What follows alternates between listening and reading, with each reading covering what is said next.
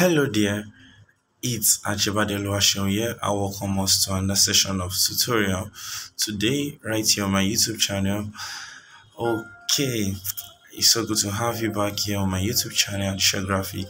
So if you are new to this channel, if this is your first time of reaching this channel at AjiseGraphik, I would like you to take a seconds and smash the subscribe button. Yes you have to do that. Don't only smash subscribe button but also turn on your notification bell so that you be the first to get notified when new videos are being uploaded. And trust me you don't want to miss this season because i'm going to be uploading the videos you're going to be needing per time per season as a graphic designer. So you definitely have to what's it called subscribe first and smash the subscribe button. Yeah and smash the notification bell. Okay so as you have here on my screen today i'm going to be walking us through the process of the seven ultimate principles of graphic design. Yes i know that we've heard a lot of principles um we've been taught by several coaches and others but i'm bringing to your notice a seven ultimate principles that on my designs of which you have you guys have seen me use several times. So in the next few minutes we're just going to be walking through the process together because one thing you need to understand is that yes as a graphic designer you cannot bypass the principles. So it is very important that you pay attention to the principles of design. So that's why I had to what's it called? I dropped a poll sometimes last two weeks on okay, what do you want to draw? And some persons reached out and said they need to know the principles. So the principles of design is as important as you designing itself. So let's dive in. Let's dive in.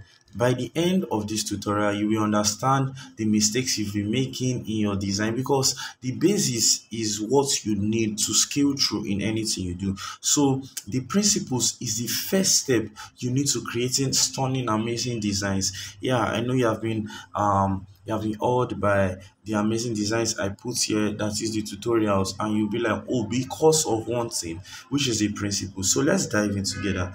So now I'm just going to do this. So the first principle I have on my um I have here is emphasis. So emphasis can also be um um laid as hierarchy. Now, from the definition here, you can understand that emphasis is when you organize the information on your design, then lay out your design in a way that communicates that order. So, e now i'm going to um, drop an image. We're going to be looking at an image that that uh that describes this definition. So from the definition you understand that okay from the word emphasis which means that you are you are laying you are laying um um emphasis i don't use the word emphasis that means you are laying um what's the word now? You are laying structure you are laying importance yes. You are laying importance on a particular element. So it says here that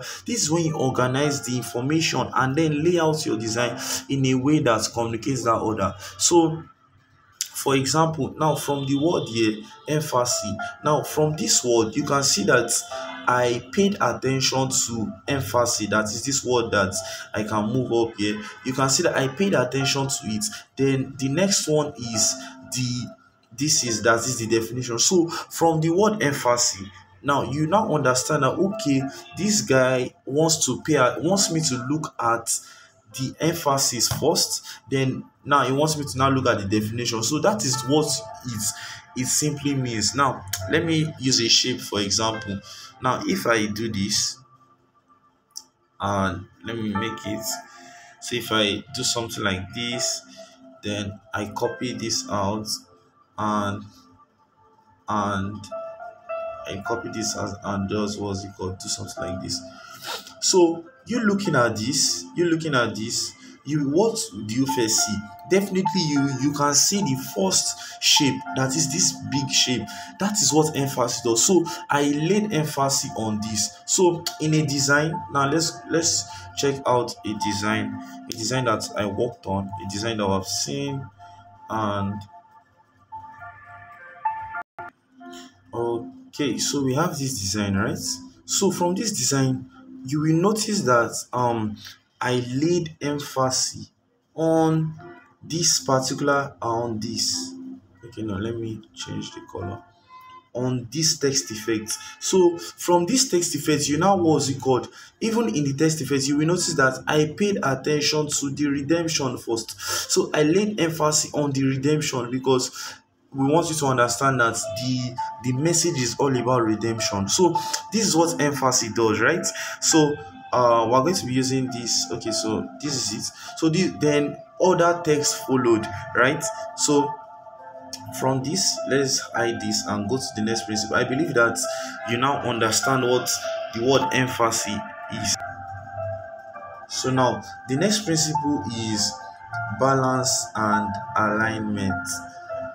So we have balance and alignment yeah so we have balance and alignment. Now from the first definition it says that alignment is the placement of visual elements. So they line up in a proper way. Alignment is also used to organize your elements to group elements and also create that balance.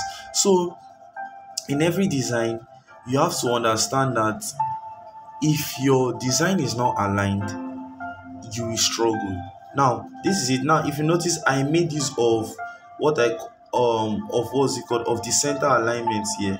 Yes i made i made use of the center alignment here. So you can see that all these are center aligned. So you can see that it gives me that structure. So when you look at that design you know that it follows that order. Okay this is aligned centrally. So now when you look at this design you're now okay okay so um this is properly aligned. Now look at this. That's why with the help of your grid tool you can now understand that okay yes okay so he paid attention to his alignment properly. Now looking at this design again that we have here you will notice that I paid attention to what's called alignment. If you notice that some elements are placed in the center, which is what I paid, I'm working with a center alignment.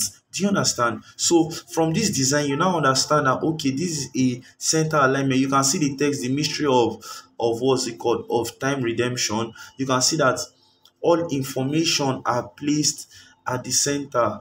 Do you understand? Let me check another design.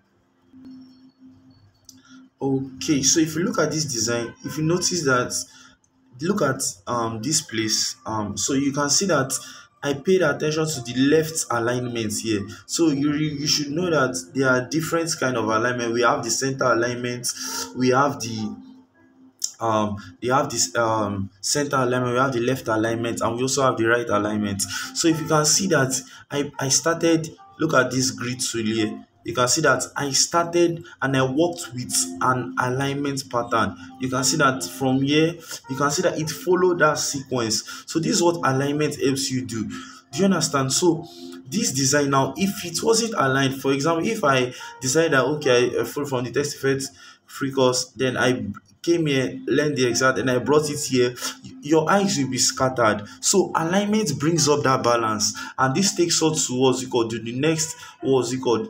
It says here that we have um two types of balance right? So we have the symmetrical balance and we have the asymmetrical balance. So the symmetrical balance is what's it called? It creates a balance through equally weighted elements aligned on either side of a center line. So what this means is that um um you are creating a balance um center in the center that is for example now um let's use a shape for example. So we have two shapes. We have this shape here and we also have this shape here. So it says here that what's it called? You create a what's it called? A balance true equally weighted. So these elements are weighted equally right? So it says align on either side of a center. This is center line. So i aligned both of them at the center. So this is what it creates a what's it called? A symmetrical balance. So a symmetrical balance he said uses opposite weights like contrasting one large element with several smaller elements. So for example i do something like this and I just place it here and I do something like this and just place it somewhere here. So this is what asymmetrical balance does. He said um it was God uses opposite way like contrasting one large element with several smaller elements to create a composition but that is not even you say but still has that equilibrium so looking at this you will see you will notice that okay i put this here and i put this here you will notice that it still has that was called that balance so that is what um asymmetrical balance is all about right? So now let's move on to the next. Let's move on to the next which is what? Contrast so what contrast does contrast creates space and difference between elements in your design. For example there's a lot of contrast in text contrast in shape contrast in fonts and contrast in everything. So you need to what's it called pay attention to this. So for example i want to what's it called okay let's look at what we have here. Now look at this text. I said contrast creates space and difference between elements. Now look at this text i wanted to create a contrast between the the what's it called? The rest of the text that is the space in the text and the rest of the text. So what did i do? I had to what's it called? Pay attention to contrast in color so that it becomes different from the rest of the of the text in that particular text. So what you can do is that for example you have a lot of text. So now imagine if i made this white also um it would have been okay if i made this white you would have known you would have seen the what's called the contrast because it is actually bolder. So this is contrast um in size. I made this more bold. Okay let me just that back. So i made this more bold. Then what's it called change the font weight of this and made it smaller. So you can see that there's a contrast in in size here do you understand? So this is a contrast in size. So now for example i what's it called? I have um um let's return this back. So now for example i have shape this shape. So i want to create a contrast in shape now. So and i copy this and what's it called? And i do this so you can see that this also contrast in shape.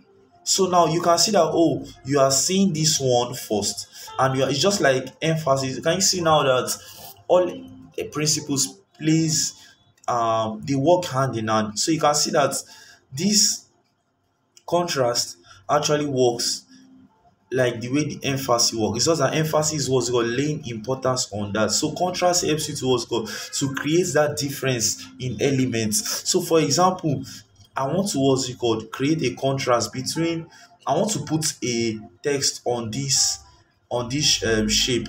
I will not go ahead and put probably uh let's assume I put white on white. You can see that the contrast is not enough. But what if I add a a black what if I add a black? You can see that the contrast, so the contrast makes it more visible.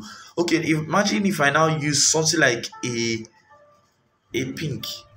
That's when you will now see that oh the contrast is not enough. Look at if I use this color, you can see that you are struggling. You are struggling to see the text. You can see you are struggling. So this is what contrast is all about. You have to what's it called? Pay attention to your contrast. I believe you are following. I believe you are following. If you are following, just type I'm following in the comment section. So now, this is what contrast is all about. So now, um, we have this, and look at this. Now you can see the background. The contrast between this text and the background is enough. Imagine if I decide that okay, I want to make use of the same color I use for the background or this you can see that the contrast is not enough So this is what contrast. So this is contrast between color. So contrast works in size and works in text in everything you do. Contrast works. So I believe you understand that definitely. So now let's move on to the next, which is repetition. Repetition is kind of easy also. So this is simply when you limit yourself to two strong typefaces and or three strong colors. So for example, if you notice that you didn't see purple in this design, you are seeing um, yellow, you are seeing white, and you are seeing another shade of green. Do you understand? So this is what repetition does. For example, if you notice that I'm using the same typeface, typeface that is a font family. I believe you understand that. So this is name of the font. I used a particular font, and this is um the bold font and I'm making use of the regular. So repetition helps you to also instead of using um, a lot of fonts in your design, you can repeat the same font family, but you are adjusting the weight. For example, I used Noemi font here. I, if I now decide to use Montserrat here, I now come here again and use what's it called poppins, you will notice that you will just notice that you the the audience is struggling to understand what you are doing because of you are not what's it called paying attention to repetition. So repetition helps your design to also be balanced. So you need to what's called pay attention to this. So this is what repetition does. You say according to the definition, this is simply where you limit yourself. So limiting yourself does not mean that your design is limited. So it's just bringing that structure in your design. So that is what repetition does. I believe you understand already.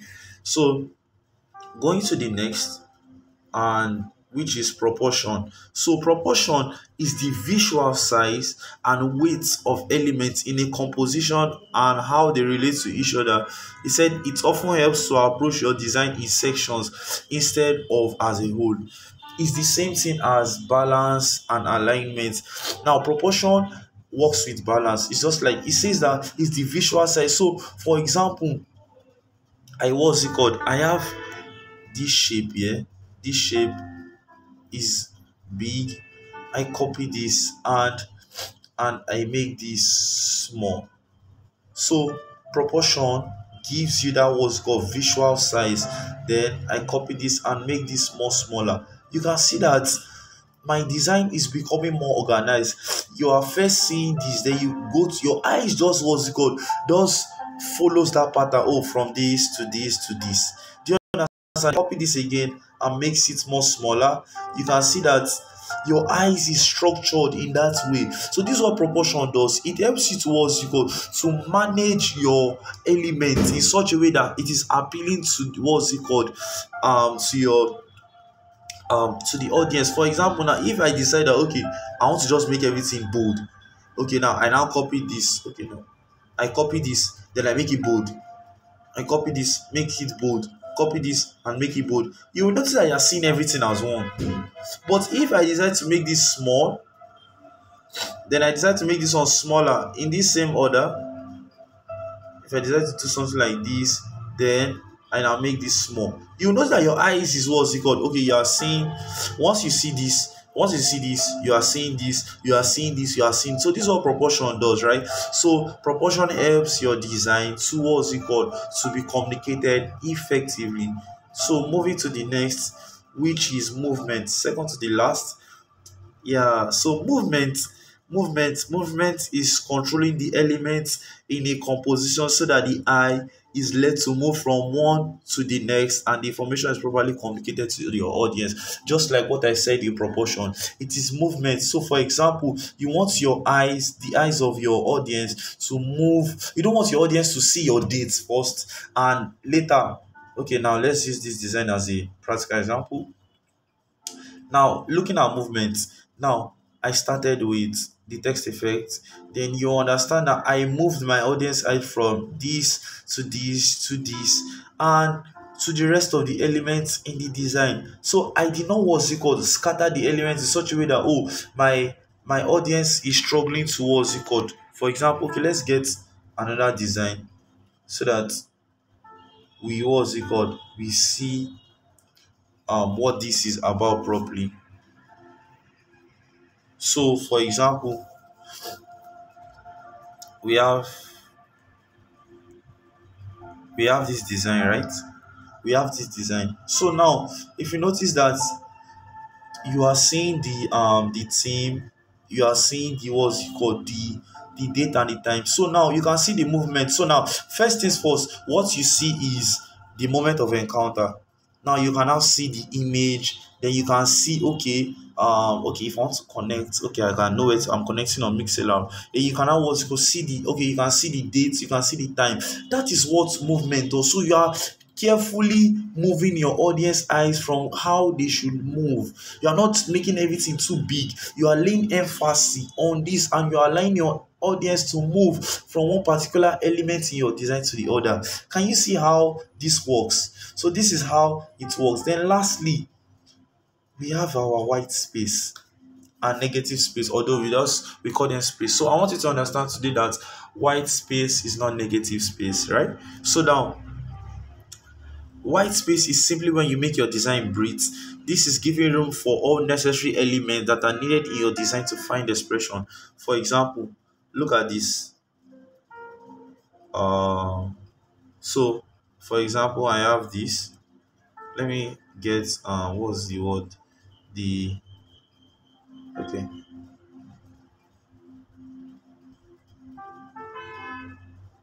So I just want to do do something here. So now this is an example of white space. Oh no, that's black. Let's just maybe something contrasting enough, or maybe white. So you can see, so you can see that there's enough white space here. You can see that from here, you can see, you can see. So these are white space. So these are the space inten- intentionally left by the designer towards you called to make sure that your design is breathing. Do you understand? So this is an example. So white space does not necessarily have to be white. Do you get? It does not necessarily have to be white. So this is um you can see this an example of white space. Is a space intentionally left in the design towards you call to make all other elements breathe properly. That is what white space does. So if you notice in my designs you have been noticing that pattern. Look at this design also. You can see that you can see that this place oh not place yeah. You can see that these spaces are intentionally left by the designer. You can see all this space all this space you can see it you can see. So it helps other elements to get balanced properly. Can you see can you see enough white space? So when your white space is intact it gives that leverage. It makes your design to be very more structured. So now what is now negative space? So now negative space is the space between or around elements in a design. So now i know you, might you you have been taught don't worry it's bad it's not bad. I know you have been taught that oh okay uh white space is negative space. I, I was also taught that way too. So now this is it. So now this is when you are what's it called? It is it is often used in logo design yes or or proper manipulation. That is when for example now this shape the designer wants to what's it called um create something from this. For example he wants to create um let's say let me get something else and negative space then I'm just going to do something like this. And I'm going to what's it called let me work with the background color. I'm coming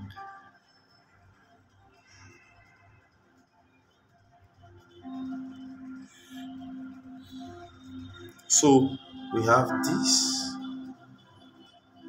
Now you can see. So this is what this is an example of negative space. So now what the designer did is that he wants you to what's it called? Wants your eyes to what or to pay attention that okay this is a circle with a thunderbolt. That is he wants to make sure that okay oh, that this is what's it called? It is like it is creating um a meaning out of a meaning. That is creating um making sure that um your that particular element has a meaning in it. You will notice that in um some logos for example like um the panda logo there's a particular brand that's panda. Um i couldn't get the image here. Sorry about that. So but this is this is a clear example of what negative space is. So it is um making sure that there's a space in between and what's it got to define a meaning. So now from this you understand okay um so after now you can just check and you see negative space how they were able to what's it called it is a meaning in a meaning. Now what i mean is that you will be looking at it literally and you say okay this is something for example this is a house but inside that house there's another definition that is being depicted in that image. So that is what this is all about don't worry in subsequent videos i will get to show us more about that. Okay so thank you for staying to the end. Now this lastly a design doesn't have to strictly follow the rules to be good. Some absolutely mind-blowing designs ignore one or more of the principles of design in order to create an eye-catching and effective work. I want you to understand that um paying attention to the design is the beginning that is to the principles of design is the beginning but you don't have to get limited it is just a structure that has been put to help every designer know what they are doing so if you can understand each and every of these principles you are able to what's it called create and be able to manipulate having the principle in front of your mind. Do you understand? So this is basically what this means. So don't get limited by the principles. Once you have the principles in your mind, you can now what's it called manipulate that principle to favor you. Do you understand? So I believe we've learned a whole lot. Now you don't want to watch this amazing, stunning tutorial alone. You want to share it with your designer friends. So like smash the subscribe button now and share. Start sharing. Copy the link and share. Thank you so much for staying to the end. See you in the next video tutorial. God bless you. Thank you for your time. Subscribe.